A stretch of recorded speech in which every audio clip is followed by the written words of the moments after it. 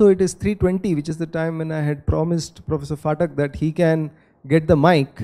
So Professor Phatak, as you all know, is the uh, PI for this Teach 10,000 Teachers project that is being carried out at IIT Bombay for the past uh, few years under the National Mission on Education through uh, ICT. I will transfer the floor to him now. Over to you, Professor Phatak. Good afternoon, and I hope I am audible. I hope all the participants have benefited from this discussion. I would like to mention a few things about the teaching, learning methodology being attempted to be understood by people. In our time, there's no education of this kind available to us at all. We simply try to figure out ourselves how students learn. We were under the wrong impression that our giving better lecture will mean students will learn better. It took a long time for us to understand that good lectures are important but are not adequate. You need to do something more. I am so happy that my colleagues, Professor Sahana Murthy and Professor Sridhar agreed to conduct this workshop. Let me admit frankly that I have learned a lot on what teaching learning is from both of them over the last few years. And we have started practicing some of the teachings that they have given in our own class. I would like to comment in this context on some of the questions that were asked about the use of videos next year and would it be boring and so on. Do I not use the same textbook as the textbook next year also? Does that textbook become boring? It does not. There is no reason why the video recording should become boring. Please remember, these things may become boring to you, but your students are new. They have not seen it earlier. Don't worry about people getting bored. But I will tell you where they will get bored. They will get bored if your videos are not prepared properly. And as Professor Sridhar and Sahana Murthy repeatedly mentioned, if those videos are mere recording of your conventional that won't work. Secondly, I won't agree with uh, Professor Sahana Murthy's uh, suggestion that video should be 15 minutes or at the most 20 minutes. There is much greater research into the into the way people observe videos thanks to the huge data that is available to massive open online courses. People do not observe videos which are longer than 8 minutes. If at all you are preparing videos, please ensure that your videos are between 8 to 12 minutes at the most. Second, the chunking and segmentation is not as easy as, as it sounds.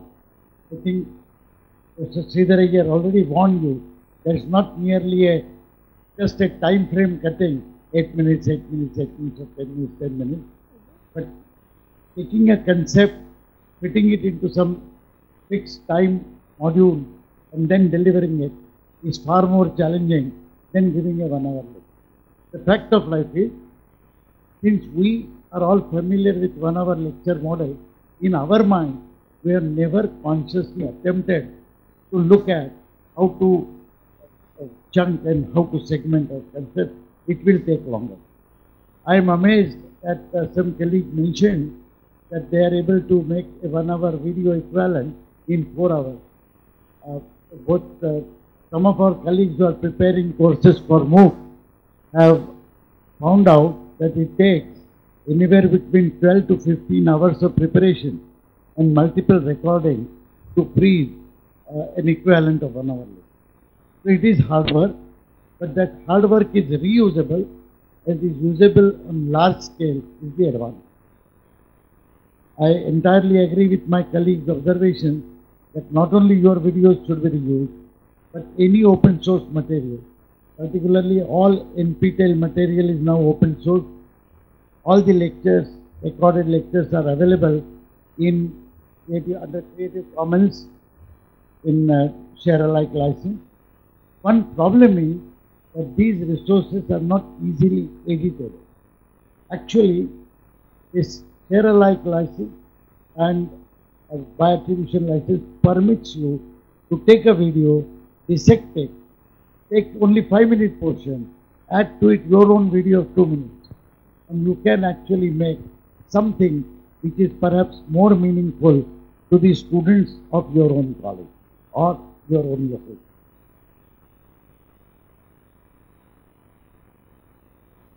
There is a word used by Sahana called constructive alignment. It reminded me of a similar meaning word that's more beautiful, which, which, was, which was used by Dr. Chidambaram in explaining this kind of synergy. He, he called it coherent synergy. Coherence actually relates to signals which are out of phase. You get constructive coherence and the signals, out of phase signals add up are constructive. I would think that a coherent synergy of the three components is probably a more uh, appropriate. I would like to mention in this context that massive open online courses actually becoming very popular and the new technology which is emerging is likely to be used more extensively for creating an environment where much larger number of students, conglomerates from various colleges participate and a small team of very well-known reputed teachers jointly with thousands of teachers in the local colleges together ensure that the teaching becomes better. When we started looking at MOOCs last year, had initiated a blended model that presented. Professor Sasravati was there at that time. Subsequently, this model has been examined by many people and University Grants Commission is soon likely to release an advisory that individual colleges which are autonomous and universities should be attempting to take some credits for their students from such course. If and when that happens, contrary to popular belief that MOOCs means only few teachers will teach and other teachers will become redundant, completely contrary to that popular belief, I am convinced that when the MOOCs technology gets adopted in this blended fashion, local teachers will become far more critical than even what they are today. Today, most of us in our colleges are spending anywhere between 80 to 85 percent of our time in lecturing. Whereas tomorrow, when we adopt these methodologies like a flipped classroom, think, pair, share, etc., we as teachers will become very critical in deciding what questions do we ask in our classroom? How do we judge whether individual students are learning or not? How do we give tailored coaching sort of, tailored uh, advice to individual students with whom we can now interact much more because we have free time. We are not wasting our time in preparing lectures. This is where I believe the education is going. Uh, we have, as many of you may know, we have been adopting the EDX open source platform. That platform is soon likely to be released as a national platform by government.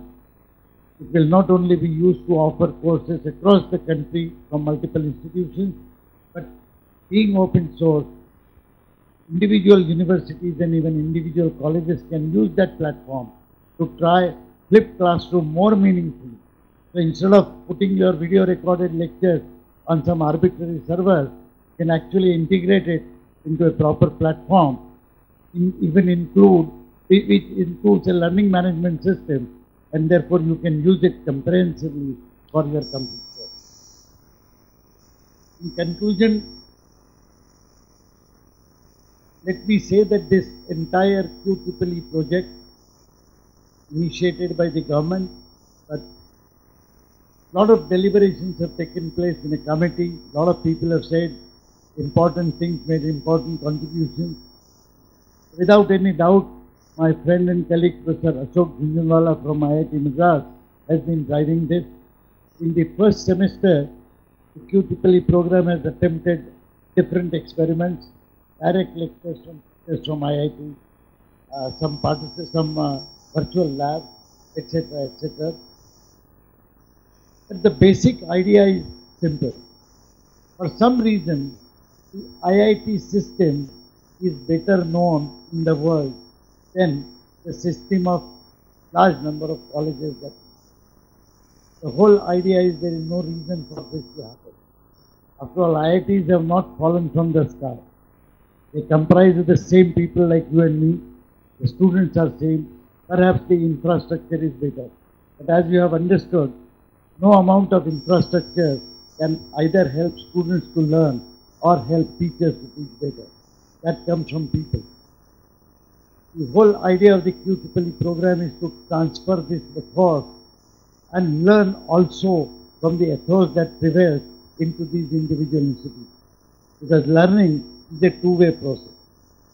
Just as you have benefited from this, I am sure that Professor Sahana Murthy and Professor Sridhar would also have benefited from this interaction.